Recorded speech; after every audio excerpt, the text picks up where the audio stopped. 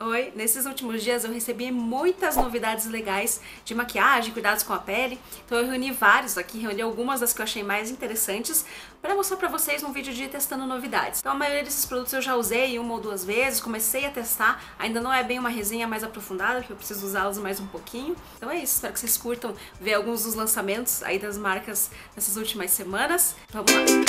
com a minha pele, ela já tá limpinha e tal, já fiz minha, o meu ritual de cuidados da manhã e agora eu vou começar então a testar as novidades que eu separei para hoje. Como eu comentei, eu já fiz essa parte de hidratação, protetor solar e tal, mas isso já tem um tempinho e eu queria testar uma coisa legal aqui com vocês, né, comentar sobre ela na verdade, que é essa linha nova aqui, ó, da L'Occitane que se chama Aqua Reutier. Ela é uma linha feita para hidratar a pele. E ela tem essa hialurônica e tal, alguns ingredientes bem hidratantes para pele. Todos os produtos têm uma textura leve, ó. Eles são assim, meio gel, então eles são super levinhos, não pesam, não deixam a, o rosto pesado ou não demoram para absorver e tal. Eu tô usando essa linha aqui já tem alguns dias, né? Eu recebi tudo, tudo que eu tô testando aqui, eu recebi nessas, nesses últimos dias, nessa última semana. E eu resolvi falar desse produto em específico porque eu nunca tinha usado nada desse tipo. Então esse produto aqui é uma essência, essence ou essence, enfim, depende da língua, mas é, a essence, né, ou a essência, ela é um dos passos da rotina coreana e é um dos passos que eu nunca tinha usado um produto do tipo, porque eu nunca testei nenhuma essência. Então, assim, eu não vou poder fazer uma comparação com marcas coreanas ou com produtos coreanos, porque eu nunca usei. Essa daqui, esse daqui é o primeiro desse tipo que eu uso. Mas, pelo que eu tava lendo na descrição, ele é realmente bem similar ao que é, né, ao propósito das essências que são coreanas. Então, esse produto aqui, ele ficaria entre um tônico e um sérum. Então ele tem uma textura que ela é, ó, ela é leve, mas não é líquida como um tônico e também não é cremosa, não é hum, pouquinho mais pesada, como se fosse um sérum, digamos assim. E ela serve para você aplicar entre esses dois passos, na verdade. Ele serve como um preparatório, digamos assim, para hidratação. Então, eu, como eu já hidratei minha, o meu rosto e tal, eu não vou passar outro hidratante por cima, eu vou usar assim mesmo, como se fosse o hidratante. Pelo que eu sei, ele é similar também ao que, ao que promete o Mineral 89 da Vichy, que é um produto com características similares. Mas então é isso, ó. Ela é bem leve, ó. Quase líquida, mas não é líquida, é um gelzinho leve. Ah, como se ele fosse um hidratante bem levinho. E o legal dessa linha Riotier, como ela foi lançada agora, além desse produto aqui que eu tô mostrando, é, tem também, tem hidratante em gel, tem hidratante em creme, tem sabonete, eu já tô testando alguns e estou gostando muito porque ela é super levinha mesmo, né, como eu comentei. Então assim, você passa, você já vai sentindo assim a pele absorver, não fica melecado nem nada. E é, quem tem a pele um pouquinho mais seca, como eu, sabe que hidratação nunca é demais. Então tô passando um pouquinho aqui antes de começar bem a maquiagem. E uma outra coisa interessante é que é, agora durante esse mês, né, de julho, se você está assistindo esse vídeo quando ele foi gravado e quando ele foi ao ar, é, se você colocar, né, quando você for fazer compras no site da L'Occitane, se você escrever no cupom lembrança, se o total da sua compra der mais de 250 reais e você estiver levando um dos produtos dessa linha nova aqui, você ganha essa garrafinha aqui, ó, que é bem fofa. Eu adorei. Agora, passando para a parte da maquiagem mesmo, vamos para uma base, que é um lançamento recente da Dylos, essa daqui, que é a base mate. Ela promete ultra cobertura, efeito porcelana, poros invisíveis e a prova d'água. E ela também hidrata, né? Promete 8 horas de duração, tem ácido hialurônico e fórmula livre de óleo. Eu já testei, essa daqui chegou também, essa, tudo que eu tô falando aqui chegou essa semana, então eu já usei uma ou duas vezes as coisas aqui que eu tô mostrando, então eu já tenho mais ou menos uma noção. Essa base aqui, a que eu tô usando, ela é a número 4, bege claro, mas na verdade ela é a segunda mais clara, eu acho que eles só usaram números pares, não sei. No total são sete cores, e assim, é, essa daqui foi a que deu o melhor pra mim, a que é o mais clara ficou muito clarinha e a outra já tá muito escura. Só que como vocês vão ver daqui a pouco, o problema dela, assim, a cor até que dá certo, só que ela é muito amarela pra mim. Isso acontece com a grande maioria das bases nacionais, né, que não tem aquelas diferenças de subtom, rosado, amarelado tal. A minha pele é bem cor de rosa. Então quando eu, eu aplico uma base desse tipo, dá pra notar bem a diferença. Então, ó, eu vou aplicar bem pouquinho, porque o base mate não é assim muito a minha praia, porque eu acho que marca um pouco as linhas. E eu vou passar com os dedos mesmo, porque ultimamente tem sido a minha forma preferida. Estão vendo como ela fica amarela no meu rosto? Fica muito amarela. Depois, quando a maquiagem fica completa, é, eu consigo dar uma disfarçada. Mas ela é bem amarelada, ó. Então, ó, a base tá aplicada.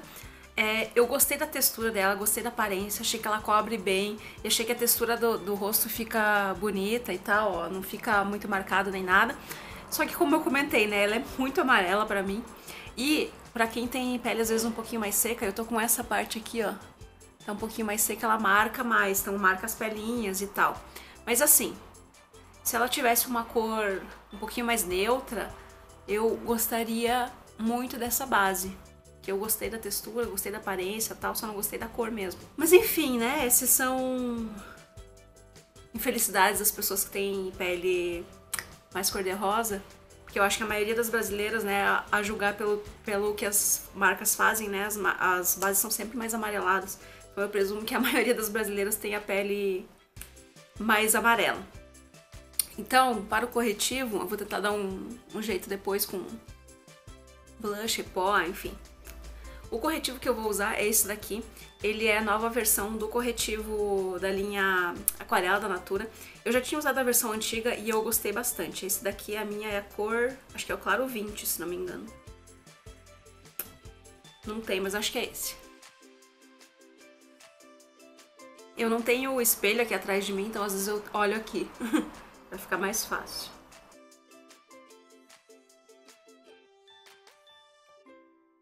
A textura até agora eu curti. Achei que ela não é assim seca a ponto de, de ressecar aqui essa área, né? De deixar parecendo mais ressecada. E ela também não é melequenta, brilhosa, né? Tipo o corretivo da Tracta que eu gosto, mas muita gente não gosta porque ele tem essa aparência mais brilhoso, digamos assim, mais melequentinho. Então achei que tem uma textura boa, gostei. Achei que cobriu bem também curti. Eu, em geral, não uso assim tanto pó no rosto, mas eu sempre uso aqui assim porque no meus... Uh, aqui embaixo dos meus olhos sempre acumula produto, né? Sempre por causa das dobrinhas aqui. É tipo, qualquer corretivo isso acontece, então eu tô só aplicando um pouquinho aqui. Esse pó que eu tô usando nem é uma novidade, é esse aqui, ó, da Ruby Rose.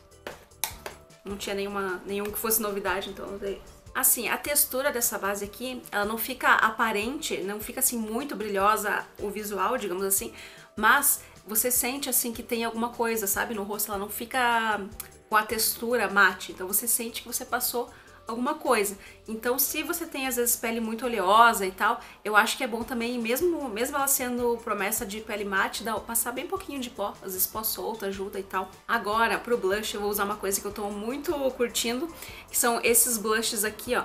Eles se chamam Mix Tint, na verdade você pode usar como blush ou como hum, batom mesmo. É, eu achei bem legal porque olha o tamanho deles, eu adoro blush em creme por várias razões. Primeiro, porque eu acho que dura mais, fica mais natural no rosto e tal. E segundo, porque você pode levar para qualquer lugar, você não precisa de pincel. Então você pode levar para uma viagem e tal, você não precisa levar pincel. Eu levo super pouca coisa quando eu viajo, então se você quiser só um blush, leva um desses e pronto, você espalha com o dedo mesmo, que é o que eu vou fazer. Eu vou usar Vou usar esse aqui, ó, que é o mais escuro, ele se chama Sangria Vibes.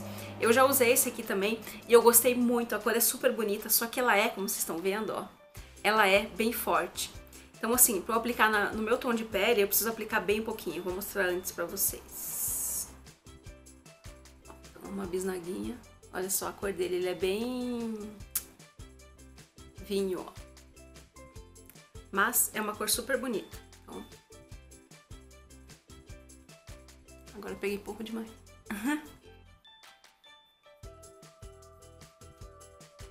Eu aplico com o dedo mesmo, vou dando umas batidinhas ou arrastando até eu achar que a cor ficou boa. E aqui nesse caso eu gosto mais de aplicar blush cremoso por cima da base, né? E aí depois, se eu quiser passar pó no rosto todo, por exemplo, aí eu passo bem, bem pouquinho, assim, por cima de tudo, por cima do blush mesmo, porque eu acho que fica mais natural do que passar esse daqui por cima do pó. Que às vezes vira uma, dependendo do pó, vira meio que uma maçaroca. Eu acho que o efeito fica bem bonito, gostei muito. Fica super natural, dura muito. E a cor é super bonita. Outra coisa que eu vou testar é essa sombra aqui, ó, da Ricoste. Eles lançaram muitas sombras líquidas desse tipo aqui, que vem numa embalagem que parece gloss, ó. E eu vou testar essa aqui que é um rosinha bem claro, assim. Ele é um rosinha bem claro, mas ele é meio holográfico, ó. Às vezes ele brilha meio lilás, prateado e tal. Eu achei super bonito, só pra dar um brilhinho, assim, fácil de, de passar e tal.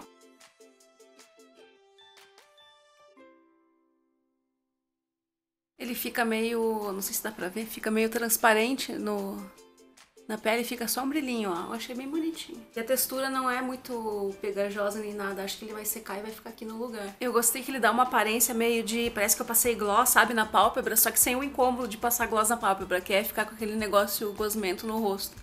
Esse daqui ele tá secando, ó, ele fica, não fica gosmento nem nada. E achei que ficou bem bonito. Gostei, esse aqui acho que dá até pra usar como um iluminador.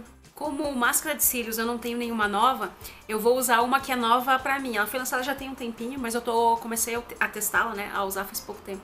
Que é essa daqui, a roxinha da Ruby Rose, chama Full Exposure and Big Volume Lash Mascara. Enfim, vamos lá. Essa daqui é a, eles têm também uma, um numerinho, essa daqui é a L4. Eu já testei a azulzinha, inclusive é uma das minhas favoritas, uma das minhas máscaras favoritas. E essa daqui tem essa escovinha assim, ó. Essa daqui tem uma escovinha mais tradicional que aquela. Essa é mais tipo de silicone, assim, com a pontinha mais estreita. Essa máscara aqui eu já tô usando também tem alguns dias. E ela ainda não superou a azulzinha, que é a minha favorita. Mas eu achei ela muito boa.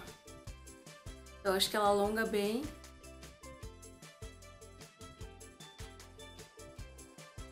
Ó, o resultado, achei que ela alongou bem.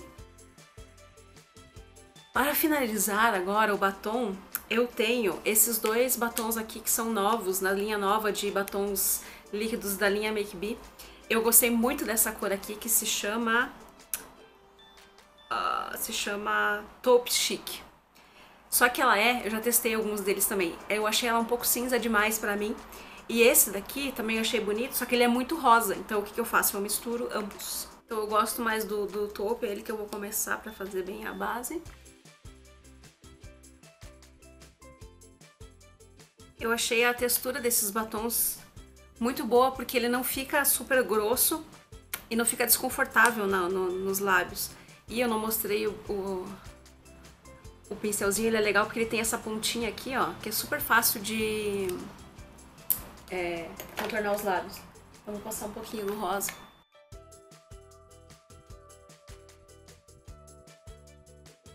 Deu uma borradinha aqui, mas nada demais, gostei bastante da minha mistura. Acho que agora ficou uma cor que eu gostei muito. Adorei esses batons. Achei a textura boa, achei que fica bonito, cores bonitas. Então curti também. Então é meio que mais ou menos isso. A minha maquiagem de hoje, testei todas as novidades que eu tinha aqui. Agora a franja fica assim, sem... Ela demora um tantinho pra, pra se ajeitar agora, voltar ao normal. enfim, problemas de quem tem cabelo muito liso. Mas enfim, para terminar agora, finalizar esse vídeo, é, gostei da base, gostei da textura dela e gostei dela no meu rosto, só não gostei da cor. Queria uma versão um pouquinho mais neutra um pouquinho mais rosada. E acho que quem tem pele mais oleosa vai gostar, porque apesar de eu ter gostado, ela marca um pouquinho lugares que tem pelinhas e tal. Mas tirando isso, eu gostei. Adorei os blush da Natura, gostei do corretivo.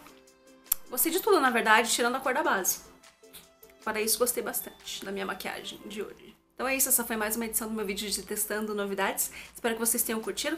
Vários deles vão aparecer em resenhas mais aprofundadas, digamos assim, assim que eu começar a usar mais. É, vão aparecer tanto aqui no canal quanto lá no, no blog, no Coisas de Diva. Espero que vocês tenham curtido. Se você não está inscrito aqui no canal, aproveite e já se inscreve. Um beijo e até a próxima.